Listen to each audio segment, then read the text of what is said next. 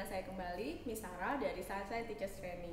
Dalam video sebelumnya, saya telah membagikan 5 penemuan penting dari Maria Montessori saat beliau bekerja di sekolah pertamanya di Casa de Bambini. Saya harap kalian bisa menemukan manfaat dari cerita tersebut. Karena dalam video kali ini, saya akan membagikan lagi 5 penemuan penting lainnya dari Maria Montessori. Penemuan yang pertama adalah anak-anak mampu membuat pilihan. Cerita uh, penemuan ini ditemukan saat uh, salah seorang guru datang terlambat ke uh, sekolah. Lalu anak-anak berhasil menemukan jalan melalui jendela untuk memasuki ruang kelas yang terkunci. Setelah mereka berhasil menemukan jalan melalui jendela tersebut, anak-anak langsung menuju ke lemari di mana alat-alat Montessori berada. Lalu mereka mulai memilih alat-alat tersebut dan bekerja dengan sangat tenang dan sangat antusias. Saat guru telah uh, guru yang terlambat telah datang tersebut, uh, dia sangat terkejut karena dia telah menemukan anak-anak mampu berhasil masuk ke dalam ruang kelas yang terkunci dan uh, mampu mengambil aparatus Montessori yang diletakkan di dalam lemari uh, yang tinggi. Dan sejak saat itu uh, Maria Montessori memutuskan untuk uh, meletakkan alat-alat Montessori di dalam rak yang rendah dan terbuka sehingga anak-anak bisa mengambil alat-alat uh, Montessori kapan pun mereka mau dan dia menemukan bahwa anak-anak bahkan ketika anak-anak dibuat pilihan anak-anak mampu bekerja dengan sangat hati-hati anak-anak mampu uh, memiliki rasa percaya diri dan mereka mau mengembalikan lagi alat tersebut ke tempat semula uh, itu penemuan yang pertama penemuan yang kedua adalah anak-anak mampu bersikap untuk tenang pada satu hari, Maria Montessori membawa bayi berusia 4 bulan datang uh, ke dalam kelas uh, tersebut.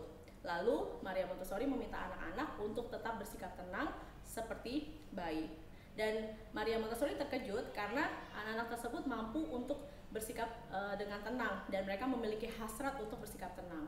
Dengan penemuan tersebut, Maria Montessori mulai mengkreasikan sebuah permainan yaitu silence game. Silence game ini adalah uh, sebuah permainan di mana anak-anak berkumpul di dalam lingkaran, duduk dengan tenang dengan mata tertutup.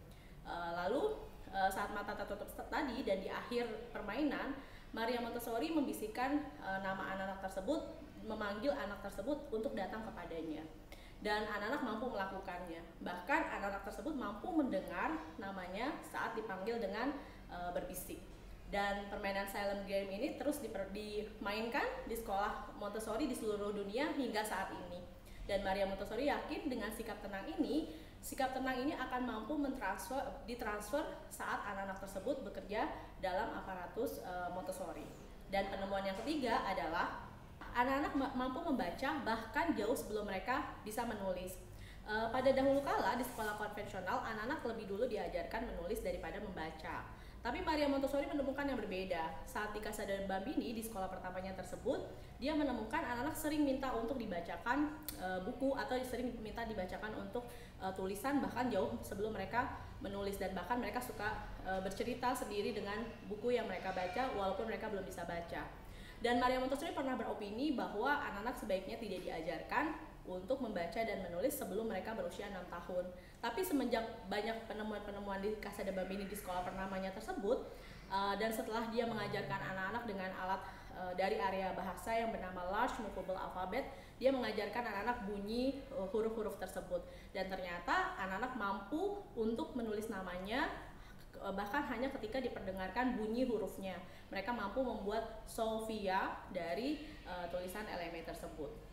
Dan penemuan yang keempat adalah anak-anak mampu mengajari diri mereka sendiri untuk membaca. Dari cerita yang tadi anak-anak setelah dipendengarkan untuk eh, bunyi-bunyi uh, dari setiap huruf, lalu Maria Montessori mulai mencoba apakah anak-anak mampu mengajari diri mereka se uh, sendiri untuk membaca. Maria Montessori pada saat ini belum mengajarkan untuk, anak untuk membaca, tapi hanya memperdengarkan bunyi uh, huruf-hurufnya saja. Lalu dia mulai menulis uh, di papan tulis dia menulis seperti ini kalau kamu bisa membaca tulisan ini kamu uh, uh, kamu datang ke, uh, ke depan dan silakan cium di pipi saya setelah beberapa saat ternyata ada seorang anak yang mampu uh, membaca tulisan tersebut dan mendatangi Maria Montessori untuk mencium di pipinya jadi ini adalah penemuan bahwa anak-anak setelah mereka diajarkan dengan su uh, bunyi suara huruf dengan uh, detail dan jelas anak-anak akan mampu membaca uh, mengajari diri mereka untuk berusaha untuk membaca sendiri dan penemuan yang kelima adalah anak-anak mampu untuk menjadi disiplin dan mandiri. Anak-anak yang berada di sekolah uh, Kasada Babini adalah anak-anak yang berasal dari daerah kumuh atau golongan menengah sangat ke bawah, di mana area tersebut tadinya adalah area yang penuh dengan kriminalitas. Tapi setelah Maria Montessori uh, mengajarkan anak-anak tersebut di Casa de Babini, mengajarkan kemandirian, mengajarkan ground rules atau aturan-aturan, dan dilakukan dengan sangat konsisten, ternyata anak-anak tersebut mampu mengikuti disiplin tersebut. Dan anak-anak itu uh, mampu menjadi mandiri dan disiplin karena mereka ingin, bukan karena mereka ketakutan.